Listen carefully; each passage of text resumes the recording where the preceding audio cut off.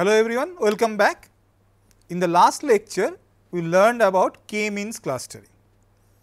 In k-means clustering, we are performing a flat clustering algorithm, where we divide a heterogeneous data set into relatively homogeneous clusters and the number of clusters is k. So, the number of clusters is predefined. In this lecture, I will perform k-means clustering using R. I have a synthetic data set. I have created that data set in such a way so that we can easily understand how k-means algorithm work.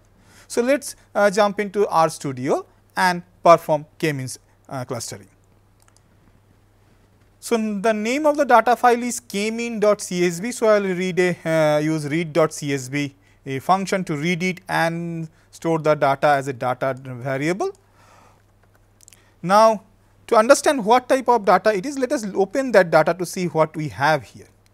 So, you can see it is a two column data, the first column is for P 1 and the second column is for P 2. You can imagine P 1, P 2 may be just two parameter or variable that you may have measured in an experiment and uh, there are 89 samples here, right. Uh, so, we have 89 rows.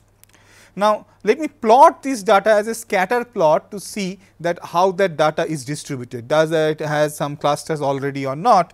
Uh, that will be clear if I uh, make a, a, scatter plot. So, I am using the plot function here. And the arguments are data is obviously the input argument. And I want to use the symbol 1 so that I will get you know open circle as symbol. And I am we want to say using size 2. So, I have made the plot here. Let me zoom it out so, you can see as I said it is a synthetic data. I have intentionally created this data so that uh, we can understand the k-means clustering easily. So, P1 and P2 are the horizontal and vertical axis respectively. And we have this 81 data point. You can easily see on the left hand side of the diagram we have uh, almost like two clusters I can see. Whereas here I may have uh, two or three or more clusters right on the right hand side and these two are quite uh, separated right and so our k-means algorithm should be able to detect it right. So, let us move and uh, move for uh, performing k-means. So, to perform k-means what I will do I will use a inbuilt function called k-means it is inbuilt in R. So, what will be the arguments?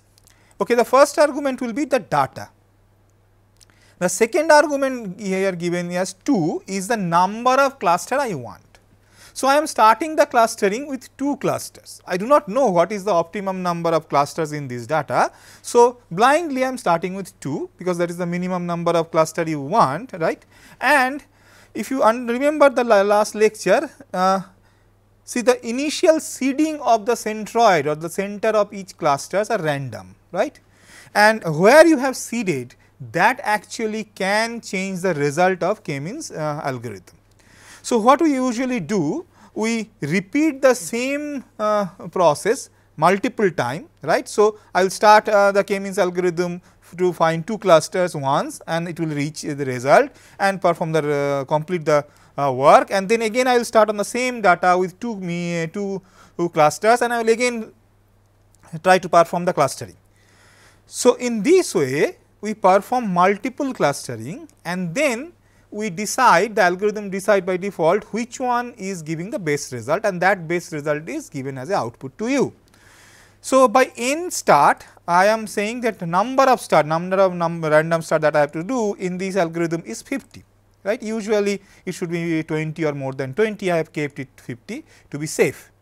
Uh, so, I will execute this k-means function and I will store all the output of that uh, function into a variable called km2, kmean2 because I have 2 uh, k equal to 2. So, I performed it, let us check the result of it. Okay. So, how should I check the result? Uh, before I go into details of that, let me click on this km2 variable and see what we have. Okay. We have lots of information in km2, it has this cluster variable which I will come and discuss, it is actually a list right it is a vector which stores the number uh, the label of the cluster to which a particular observation belongs right. So, suppose I have 89 data points some of them has I perform 2 uh, k equal to 2 k means clustering. So, I have 2 clusters in my data right. So, now uh, some of the data, some of the observation will be in cluster 1, some of the will be in cluster 2. So, this cluster list or vector store that information, right. The center which we will call again the centers variable stores the coordinate of the centroid of each of these cluster. So, I have two center uh, cluster. So, that means two centroid that is why 2 by 2 because uh, it is a two dimensional data. So, I have a 2 by 2 centers information. So, we will collect and use this information to understand how the clustering is working and also if you remember to evaluate the quality of clustering we use the dispersion of the data within each cluster that is by within cluster sum of square and we compare the dispersion of the clusters among themselves by between cluster sum of square. So, I will go and discuss them in detail how to use those data uh, to understand how my k-means clustering is working, but I can get it from here that uh, tot uh, dot within SS this is give, give, this gives the total within cluster sum of square whereas the between SS gives the sum of square between the clusters.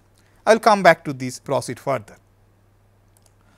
So, uh, let me check this uh, data for the cluster information once uh, in this KM2. So, I am taking the KM2 and asking it to give me the variable cluster. So, you can see here I have printed that. So, it is a list it has uh, 89 elements right because I have 89 observation. So, the first uh, element is 1 that means my first observation let me open my data so, my first observation is this one for which P 1 is 0.435 and P 2 is 39. My k-means algorithm for k equal to 2 is telling that okay, these data belongs to this observation belongs to cluster 1.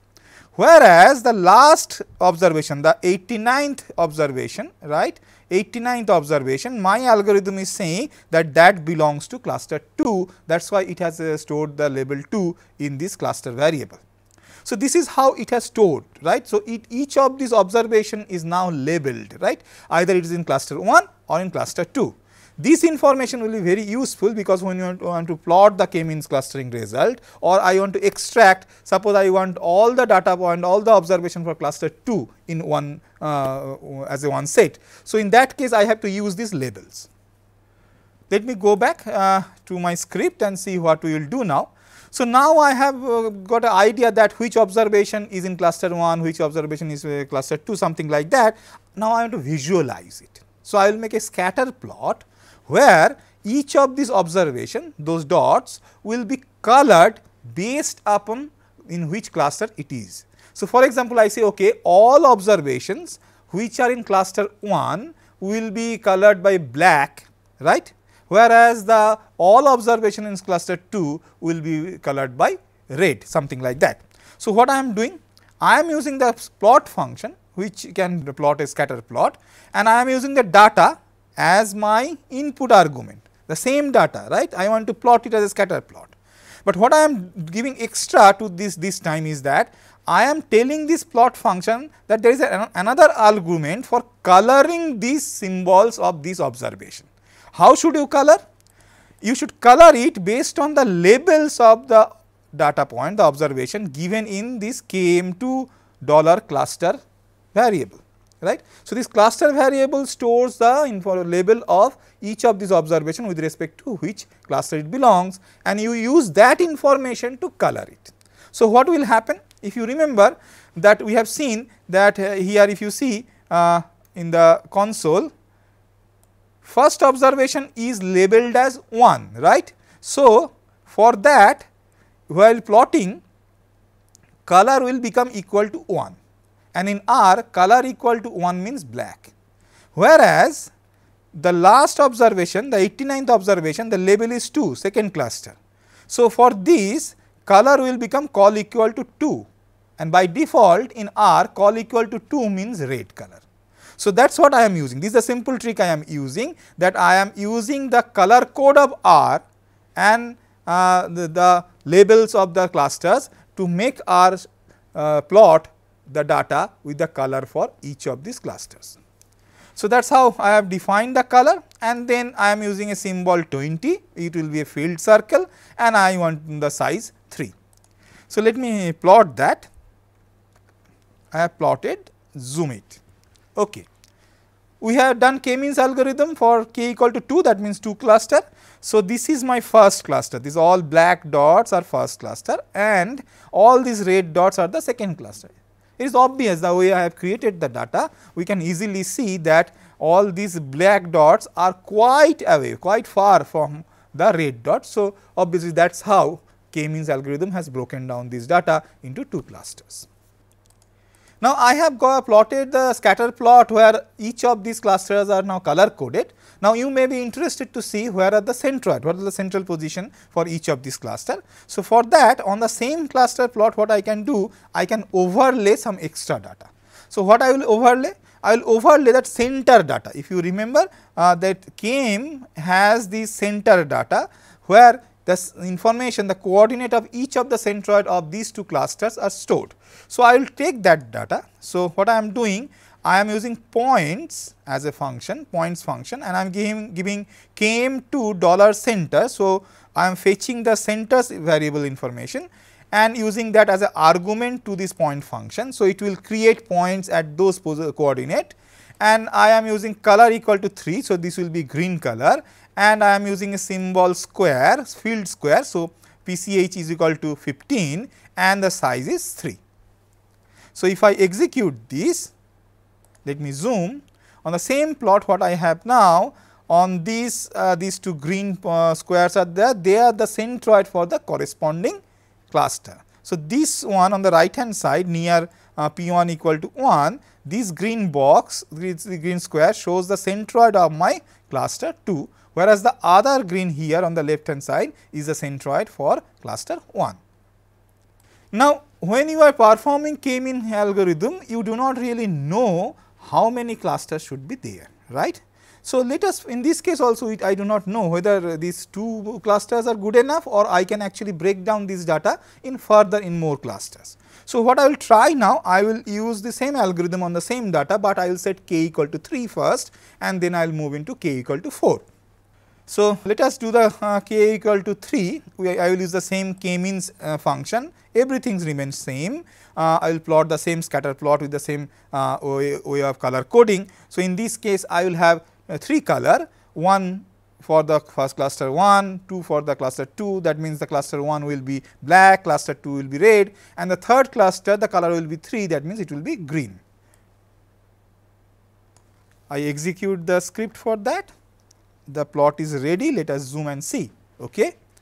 Earlier uh, we have two clusters, but now we have 3 because k, k equal to 3. So, what the algorithm has done it has broken down this right hand side cluster in the previous result into two part and you can easily use the logic it is obvious that you can easily actually see that uh, this one the red one the second clusters is quite far from the uh, black one right. So, it has broken it into two part. Now, if I say okay now perform for k equal to 4 uh, possibly what can happen either maybe these two can be broken or maybe uh, this green thing this green cluster may be broken into 2 I do not know. Let us see which one it will do.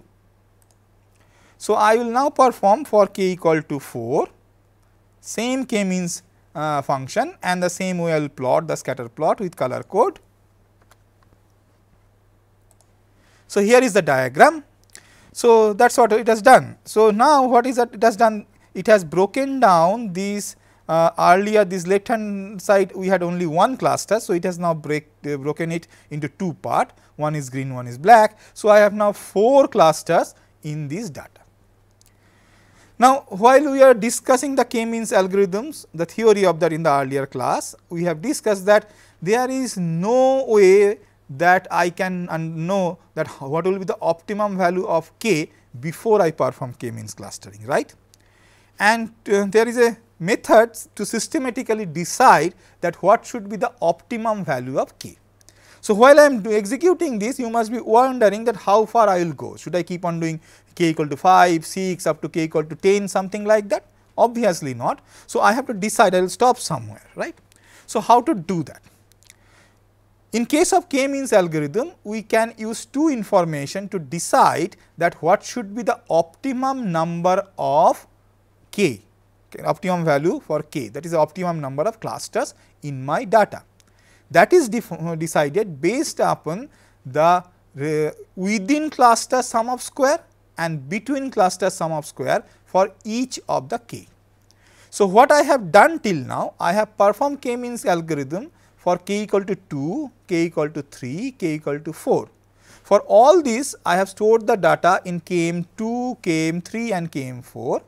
So, now I can fetch from these km2, km3, km4 the within cluster sum of square and between cluster sum of square data. But before I fetch that and visualize it to decide what should be the optimum value of k, uh, what I will do, I will perform the k means clustering for few more values of k like 5, 6 and 7.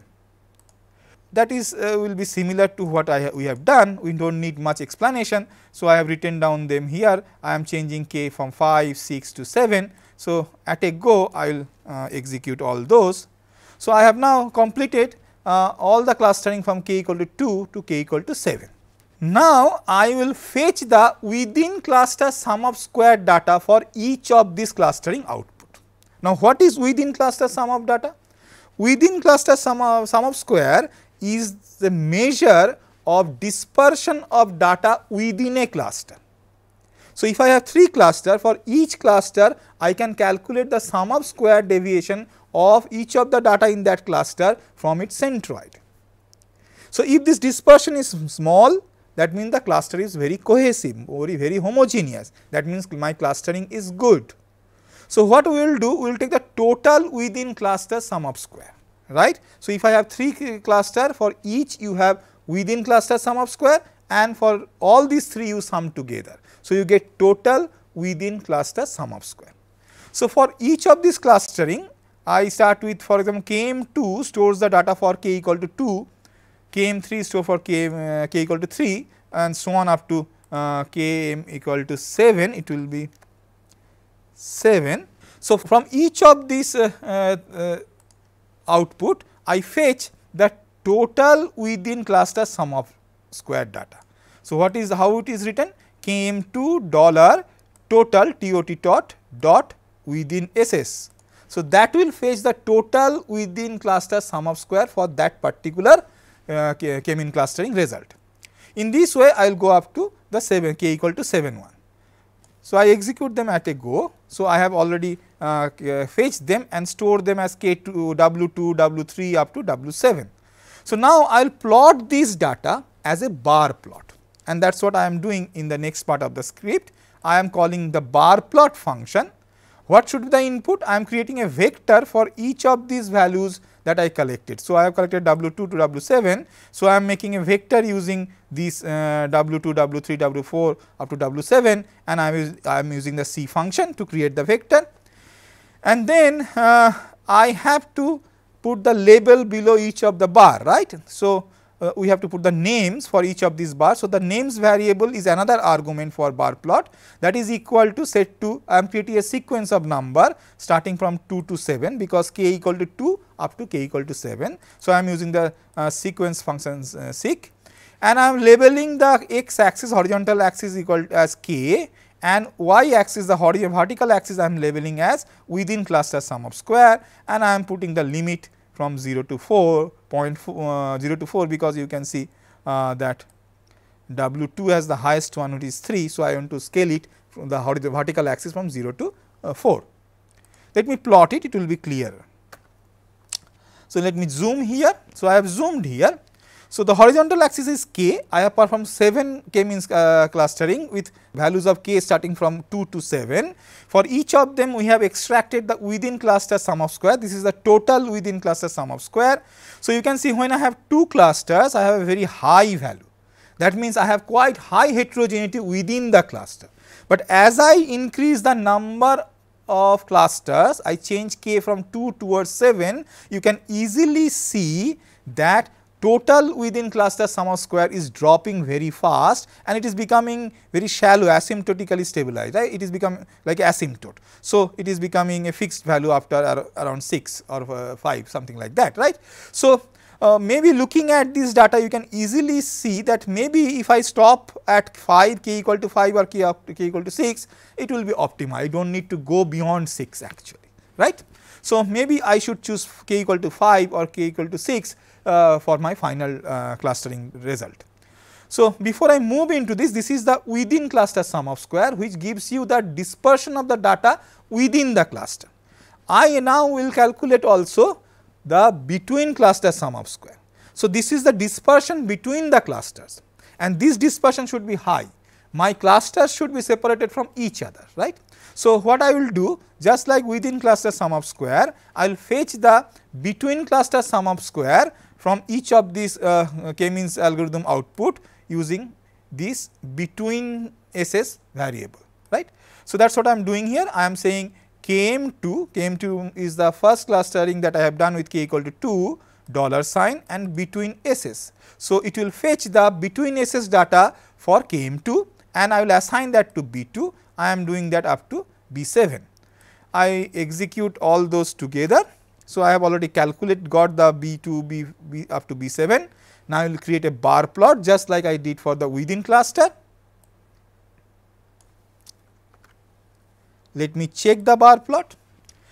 See we can see from 2 to 3 there is slight increase in the between cluster sum of square that is good. We want that the cluster should be separated right and then as I move forward after 5 actually there is not much change right they are almost same. So, I have seen that uh, in within cluster sum of square from 5 to 6 it has become almost same it has become very low.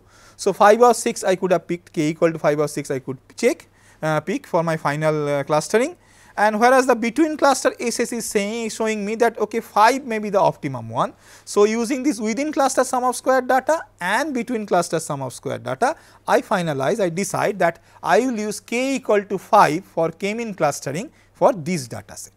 So, let me plot that so, I have selected k equal to 5 right. So, I am selected k equal to 5 because that is giving optimum. So, I have already performed the k-mean clustering for k equal to 5 and that is stored in uh, km5.